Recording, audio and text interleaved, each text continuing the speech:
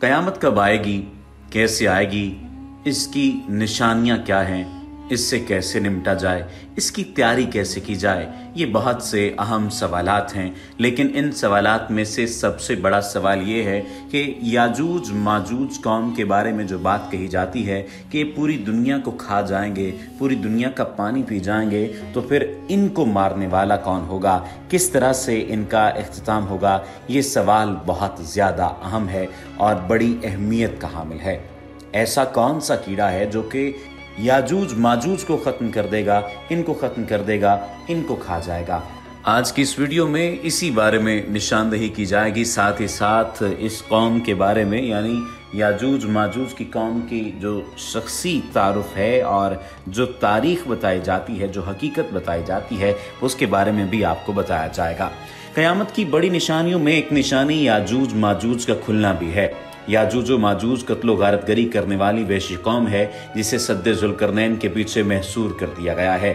یہ ویشی ظالم اور خون خار لوگ ہیں جو تہذیب و تمدن سے آشنا نہیں ہو گئے قیامت سے پہلے اللہ کے حکم سے ان کا بند کھول دیا جائے گا اور یہ پوری انسانیت پر ٹوٹ پڑیں گے اور زمین کا خشک و تر کھا جائیں گے۔ یاجوج ماجوج کی تعداد پوری انسانیت کی تعداد کے مقابلے میں کم از کم ایک اور دس کی نسبت سے ہوگی۔ یاجوج ماجوج کے نکلنے کے وقت ظہور مہدی علیہ السلام، پھر سیدنا عیسیٰ علیہ السلام کے نزول اور قتل دجال کے بعد ہوگا۔ یہ لا تعداد ویشی انسانی آبادی اور پوری زمین پر ٹوٹ پڑیں گے اور ان کے قتل و غارت گری کا کوئی مقابلہ نہ کر سکے گا۔ اس وقت اللہ تعالیٰ سیدنا عیسیٰ علیہ السلام کو حکم دے گا کہ مسلمانوں کو لے کر کوہ تور پر پناہ لیں۔ وہ ویسا ہی کریں گے اور عام آبادی بھی محفوظ مقامات میں بند ہو کر اپنی جان بچائے گی۔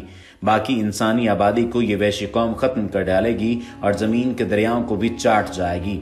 اللہ کے رسول صلی اللہ علیہ وآلہ وسلم کے مختلف فرامین کا مفہوم ہے۔ اللہ تعالیٰ یاجوز ماجوز کو کھول دے گا تو وہ تیز رفتاری کے سبب پر ہر بلندی سے پھسلتے ہوئے دکھائی دیں گے۔ وہ بحیرہ تبریہ سے گزریں گے تو سارا پانی چاٹ لیں گے۔ اس بحیرہ سے جب ان کا آخری گروہ گزرے گا تو دیکھے گا کہ پانی خشک ہو چکا ہے تو وہ تر مٹی دیکھ کر اندازہ لگائے گا کہ یہاں کبھی پانی ہوا کرتا تھا۔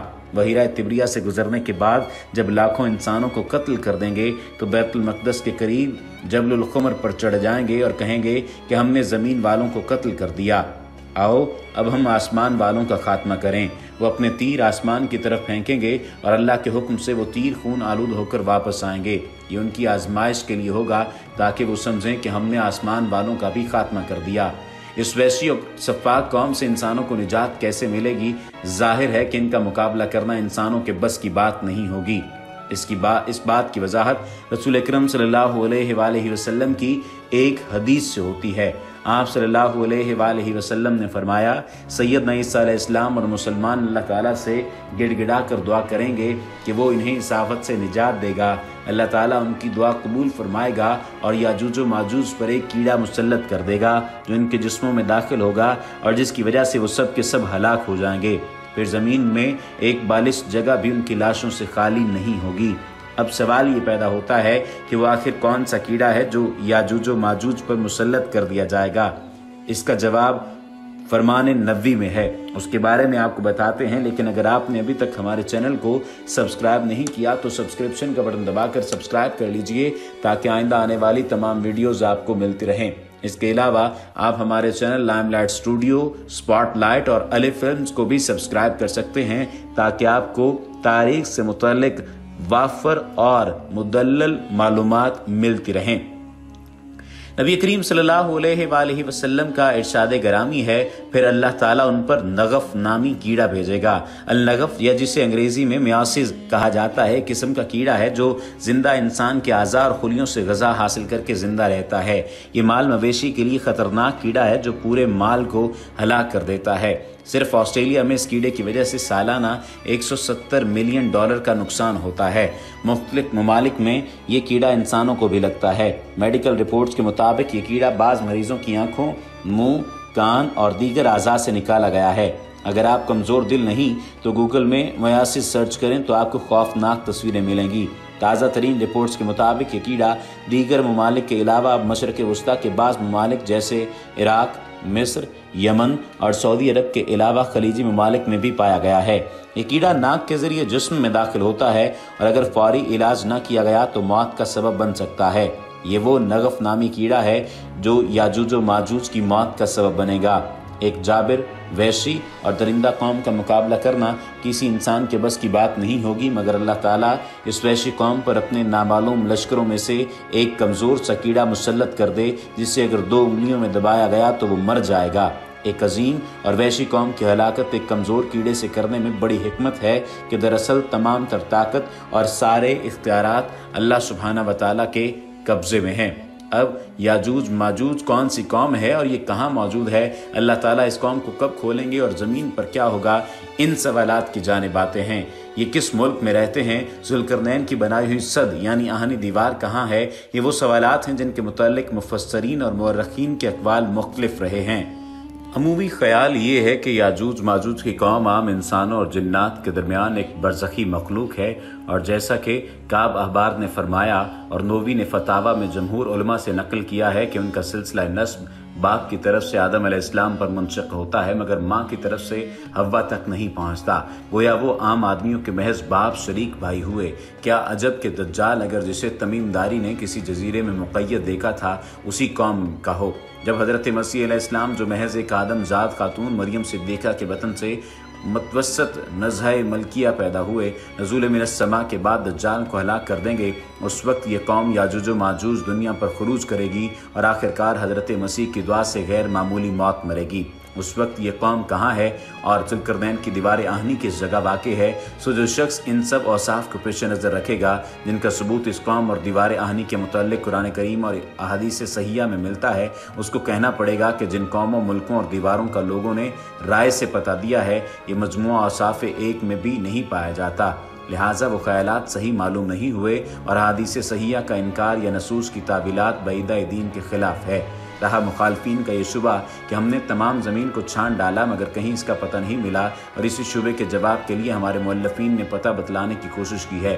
اس کا صحیح جواب وہی ہے جو علامہ علوسی بغدادی نے دیا ہے کہ ہم کو اس کا موقع معلوم نہیں اور ممکن ہے کہ ہمارے اور اس کے درمیان بڑے بڑے سمندر حائل ہوں اور یہ دعویٰ کرنا کہ ہم تمام خشکی اور تری پر محیط ہو چکے ہیں واجب تسلیم نہیں۔ عقلاً جائز ہے کہ جس طرح اب سے پانچ سو برس پہلے تک ہم کو چوتھے بر اعظم امریکہ کے وجود کا پتہ نہ چلا، اب بھی کوئی پانچواں بر اعظم موجود ہو جہاں تک ہم رسائی حاصل نہ کر سکے ہوں اور تھوڑی دنوں بعد ہم وہاں تک یا وہ لوگ ہم تک پہنچ سکیں۔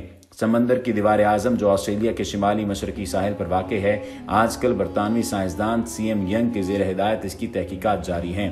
دیوار ہزار میل سے زیادہ لمبی اور بعض بعض مقامات پر بارہ بارہ میل تک چوڑی ہے۔ اور ہزار فٹ اونچی ہے، جس پر بے شمار مخلوق بستی ہے۔ جو مہم اس کام کے لیے روانہ ہوئی تھی، حال میں اس نے اپنی ایک سالہ تحقیق ختم کی ہے، جس سے سمندر کے عجیب و غریب اسرار منکشف ہوتے ہیں اور انسان کو حیرت و استحجاب کی ایک نئی دنیا معلوم ہو رہی ہے۔ پھر کیسے دعویٰ کیا جا سکتا ہے کہ ہم کو خشکی اور طریقی تمام مخلوق کے مکمل اکتشافات حاصل ہو چکے ہیں؟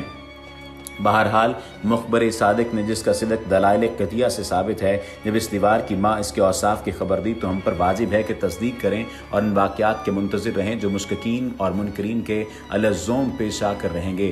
مزند آمد میں ہے، رسول اللہ صلی اللہ علیہ وآلہ وسلم فرماتے ہیں، یاجوج ماجوج کھولے جائیں گے اور وہ لوگوں کے پاس پہنچیں گے جیسے اللہ عزوجل کا فرمان ہے وَكُلُّمْ وَهُمْ مَنْ كُلُّمْ حَدَبِينَ يَنسِلُونَ، وہ چھا جائیں گے اور مسلمان اپنے شہروں اور تلوں میں سمٹ آئیں گے اور اپنے جانوروں کو بھی وہیں لے لیں گے اور اپنا پانی انہیں پلاتے رہیں گے۔ یاجوج ماجوج جس نہر سے گزریں گے، اس کا پانی صفا چٹ کر جائیں گے۔ یہاں تک کہ اس میں خاک اڑنے لگے گی۔ ان میں دوسری جماعت جب وہاں پہنچے گی تو وہ کہے گی، شاید اس میں کسی زمانے میں پانی ہوگا۔